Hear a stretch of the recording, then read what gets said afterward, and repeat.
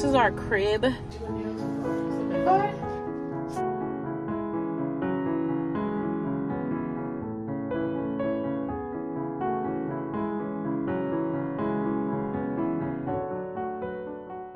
In today's video, I'm very, very excited about sharing this with you guys. I feel like it took forever, one, to record it, and then two, just to share it. I've shared um, bits and pieces on my vlog, but I really wanted to do a full video because this space was very, very personal to me and very important that we brought it to life. In January, my husband and I welcomed our third baby boy. His name is Taven Noah.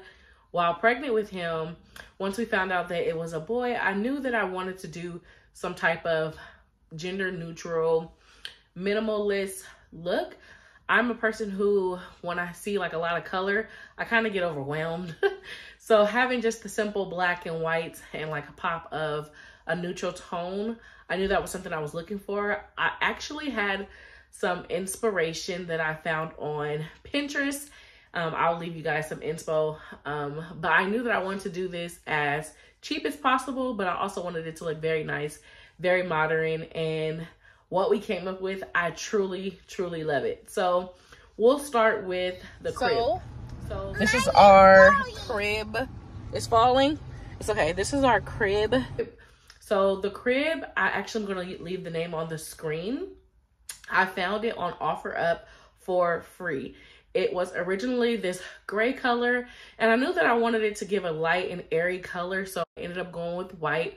I wanted, um, well, actually, before then, I was going to do a wood color. So I had sanded really, really good, and I was going to do a neutral color. But being pregnant, sawing the wood, um, it was a very hard process, harder than I anticipated. So I just decided to go ahead and paint it um, white.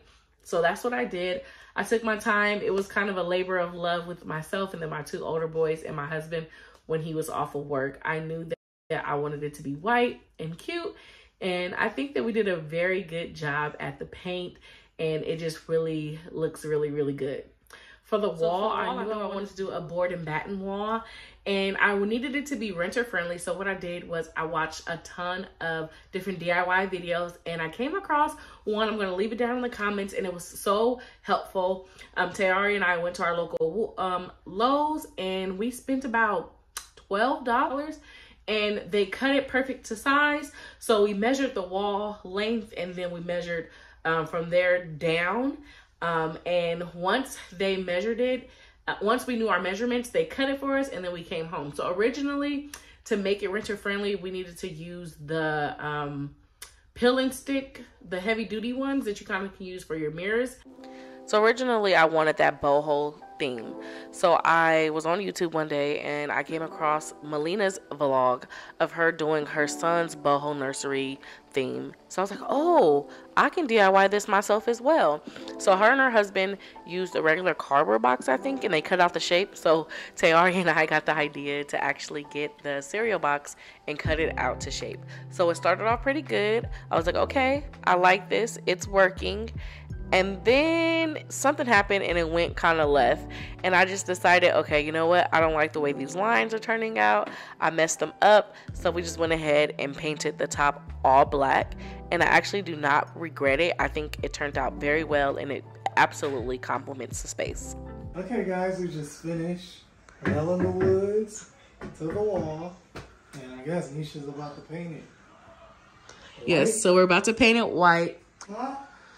So this is a better um, view of it. Like Tayari was saying, um, I'm about to go paint the wall, um, the borders. Um, I had bought a new roller, but it's the wrong size. I didn't use a lot of nails. I used maybe one nail per, per, per board. And then across, I used maybe like three nails. Um, but the nails weren't big. They weren't big holes. So when I do move, I plan on filling it in and then painting it. But I really love how it came out. I feel like it's the perfect accent wall. Um, it's just, it's just perfect. And then for the black paint, we also got that paint from Lowe's as well. So we did a black at the top and the board and batten walls. I just love this accent wall. It was my first time actually painting walls any color other than white. And I think we did a pretty good job. I'm so content with the space. And then on TikTok, I found these um, six by 16 by eight. Is it 16 by 8, 16 by 12? I can't think of the measurements, but I'm to leave them on the screen. And we printed out his name and his meaning of it. Um, and his name is Taven Noah. I do want to add something in the middle. I'm not sure the video that I watched on TikTok that was my inspo, she had three photos, but I really think I do love just the two, his first name and then his middle name. We got those printed at our local Wal Walgreens and we got the frames from Walmart. They were like maybe $7. When we talk about wall decor, I knew that this was going to be my chance, my opportunity to incorporate more woods tones. So what I did was I got these nice um shelves. I got them from Five Below. They were $5 each. They were the perfect size from Five Below. They come in a variety of colors. They come in like a wood tones, white and black. I opted for black because we're going for a black and white modern theme. And then I just added these cute little pieces um, that were personal to us. We got his 4D imaging done when I was about 35 weeks, um, which was the first time that we got 4D imaging of any of the boys or any of our children. Um, so that was very sweet. And I wanted to kind of put that up because when I was pregnant with him, I remember rubbing my butt, my belly, wondering like, what is his face? What is his future going to look like? So to see that on the wall as we were counting down to his birth was a great reminder. And then also I really love this rainbow. It was kind of hard for me to find wood tones um toys wooden toys that were available in store. But I got this one from Dollar Tree. So if you guys want to purchase that one on your own, you can. They have a lot of cute ones that I actually saw the other day when I was in Dollar Tree. But that's where I got the rainbow from. And then his little moccasins. I love moccasins. Uh, I've wanted them since I had my oldest son, Tamir. So when I found these ones at um, at Old Navy, I knew that I definitely had to have them. And then I also needed a pop of greenery. I found this little plant here at Ikea. And then um, there was a cute little book that I added to his Amazon storefront for his um, baby baby registry. And then just the letter T because my husband's name is Teari, so all of our boys' name starts with a T. Now onto the dresser. When I originally bought this dresser, I, well actually when I got the dresser, I got it for free um, on Facebook Marketplace.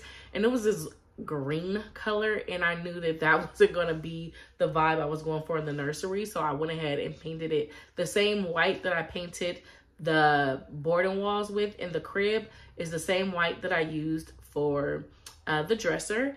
And then I went ahead and ordered the knobs from Amazon. All of the links to everything that I'm mentioning is going to be down in the description.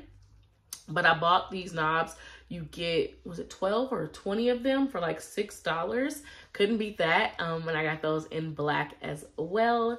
Um and yeah and then i really wanted a storage where i can have like his necessities at the top where um i could store his you know diapers powder lotions um vaselines things that would be easy to grab. So i got this wooden um basket from my local Ross and it was $8.99. And then also I knew that I wanted to have a cute little mirror to just see not only myself, but I take pictures with him in the mirror and it's just gorgeous. I got it from Ross as well and I believe it was like $15 or something like that. Um, so I'm not able to add links for Ross items, but I knew that I wanted his nursery to be in our room um, because we are in a two bedroom now. So our boy, our older boys are sharing a room. And then I knew that I wanted him to be close where I can hear him when we transition him to the crib. So when he takes nap time and sometimes um, during bedtime, he'll stand there for like, you know, an hour or so. Um, I knew that I needed, I wanted him to be close where I could be um, in, you know, quick to nurse and get to him. So this is our uh, nursery within our master bedroom. And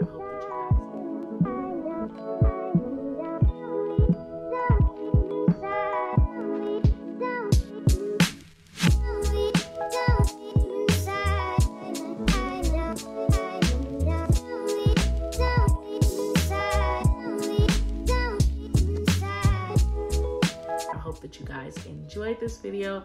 I'll catch you guys on the next one inside. Don't leave, don't inside.